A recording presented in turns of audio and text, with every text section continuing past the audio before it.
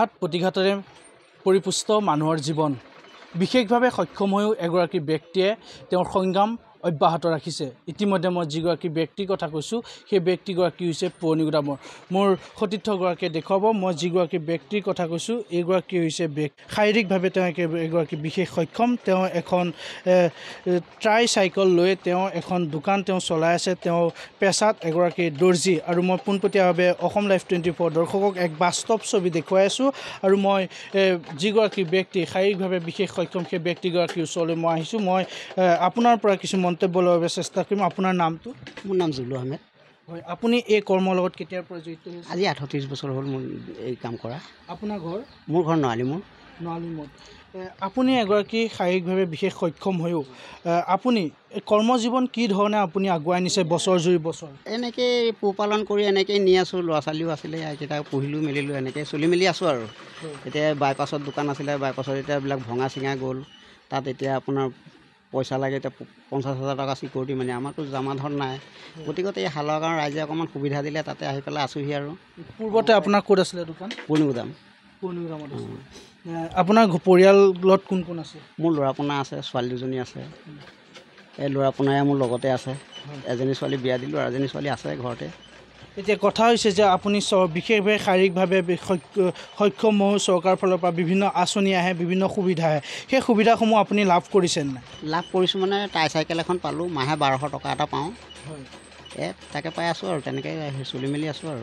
পৰিয়াল পোহপাল দিবলৈ হয়গৈ পোহপাল দিবলৈতো আৰু আজিৰ দিনততো নহয়গৈ তথাপিও তাৰ মাজতে আৰু টুক টাককৈ চলি আছোঁ আৰু দুখীয়া মানুহ যেতিয়া তেনেকৈয়ে চলিব লাগিব।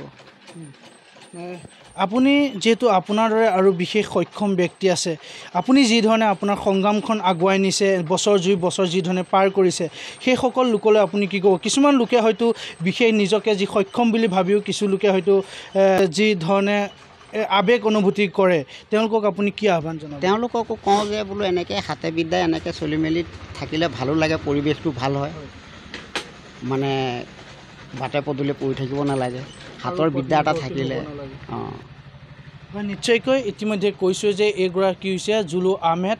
তেওঁ পেছাত এগৰাকী দৰ্জী। তেওঁ বিভিন্ন ধৰণৰ তেওঁ যিসকল পুৰুষ মহিলাৰ প্ৰতিগৰাকীৰ তেওঁ পোচাক তেওঁ ইয়াত চিলাই চিলাই কৰে। এক কথা ক'ব লাগিব যে তেওঁ এজন পেছাত দৰ্জী আৰু তেওঁ বিশেষভাৱে শাৰীৰিক হৈও তেওঁ যাতে কাৰো ওপৰত নিৰ্ভৰ কৰিবলগীয়া নহয় তাৰেই এক নিদৰ্শন দাঙি ধৰিছে আৰু এনেদৰে তেওঁ এখন ট্ৰাই চাইকেলেৰে তেওঁ যি পুৰণি গুদামৰ পৰা এই কহালী গাঁৱত উপস্থিত হৈ পুৱা বেলাতে আৰু দিনৰ দিনটো এই দোকানতে তেওঁ থাকিবলগীয়া হয়। মোৰ লগত তেখেতৰ পুত্ৰ আছে মই পুত্ৰৰ পৰা কিছু মন্তব্য ল'ম। আপোনাৰ নামটো এটা?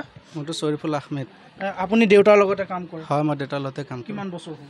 মোৰ দেউতাৰ লগত পাঁচ বছৰ হৈছে ইয়াত ছমাহ হৈছে। এই- নতুন দোকানত হয়। নতুন দোকান আপোনাৰ? মোৰ আগত নোৱালী মোৰ আছিলে বাইপাছত। বাইপাছত মোৰ দোকান আছিলে। দোকান থকাৰ কাৰণে দোকানবিলাক ভঙা গ'ল। ভঙা গ'ল যোৱাৰ কাৰণে আপোনাৰ চিকিউৰিটি মানে পঞ্চাছ হাজাৰ টকা বিচৰাৰ কাৰণে ধৰক আমিতো আমাৰতো জমা ধন নাই। আমি দিবলগীয়া দিব যে পাৰিম। তো আমি গাঁৱত আহিছোঁ দোকানখন। দিনটোত আপোনালোকৰ কিমানমান টকা আপোনালোকে উপাৰ্জন কৰে দিনটোত? ধৰক সদায়তো নহয় আমাৰ। কেতিয়াবা ধৰক সপ্তাহত দুদিন বা তিনিদিন তেনেকৈ আমি বা পাঁচ হৈ আহিলে বা ছয় হৈ আহিলে তেনেকৈ চলোঁ আৰু ধৰক টানি টুনি দেউতা কিহত অহা যোৱা কৰে দেউতাৰ এখন গাড়ী আছে চৰকাৰে দিয়া গাড়ী। সেইখনতে আহে অহা যোৱা কৰে এতিয়া কথা হৈছে আপোনালোকে যিহেতু চৰকাৰৰ ফালৰ পৰা আপোনাৰ দেউতাই কিছু সামান্য কিছু সাহাৰ্য পায় এখন ট্ৰাই চাইকেল আছে আপোনালোকৰ সেই সাহাৰ্যই আপোনালোকৰ পৰিয়াল পোহপাল দিবলৈ আপোনালোকৰ হয়গৈনে? কিবা অভাৱ হয় নেকি মাহেকৰ? তেনে অভাৱ হয় তেনেকৈ আমাৰ ধৰক তেনেকৈ চলিব পৰা নাযায় নহয়। সেইকাৰণে চৰকাৰক আহ্বান জনাওঁ যাতে চৰকাৰে অকণমান চাই এখন চৰকাৰে আমাৰ হয় নিশ্চয়কৈ এয়া হৈছে এক বাস্তৱ ছবি। মই অসম লাইফ টুৱেণ্টি ফ'ৰ দৰ্শকক দেখুৱাই আছোঁ যে এগৰাকী বিশেষভাৱে শাৰীৰিকভাৱে সক্ষম হৈও কিদৰে এগৰাকী লোকে বিশেষ এগৰাকী লোকে তেওঁৰ সংগ্ৰাম জীৱনত জীয়াই থকা যিখন সংগ্ৰাম সেই সংগ্ৰামখন তেওঁ আগুৱাই লৈ গৈছে। ইতিমধ্যে আৰু এনেদৰে বিভিন্ন ঠাইত এনেদৰে বিশেষভাৱে সক্ষম লোক আছে। আমি এক আহ্বান জনাইছোঁ যে তেওঁলোকে কোনো ধৰণৰ দুখ নকৰি তেওঁলোকে যাতে কিছু হাতৰ বিদ্যা শিকি হ'লেও তেওঁলোকে যি ধৰণে জীৱন বিদ্যা তেওঁলোকে যি সংগ্ৰামখন আগুৱাই নিব পাৰে তাৰেই আমি কামনা কৰিছোঁ। ইতিমধ্যে চৰকাৰ ইতিমধ্যে তেওঁ কৈছে যে কিছুভাৱে জীয়াই থকাৰ বাবে কিছু পৰিমাণে সাহাৰ্য দিব লাগে। অকল বাৰশ টকাই তেওঁৰ পৰিয়াল পোহপাল নচলে। আৰু এনেদৰেই যি জুলু আহমেদে তেওঁ তেওঁৰ যি সংগ্ৰামখন আগুৱাই নিছে তেওঁক আমি যাতে তেওঁ ভৱিষ্যলৈকো যাতে এনেদৰেই তেওঁ আগুৱাই নিব পাৰে বা তেওঁ পৰিয়ালটোলৈ যাতে চৰকাৰে এক চকু মেলি চায় তাৰেই আমি আহ্বান জনাইছোঁ। অসম লাইফ টুৱেণ্টি ফ'ৰ ফালেদি।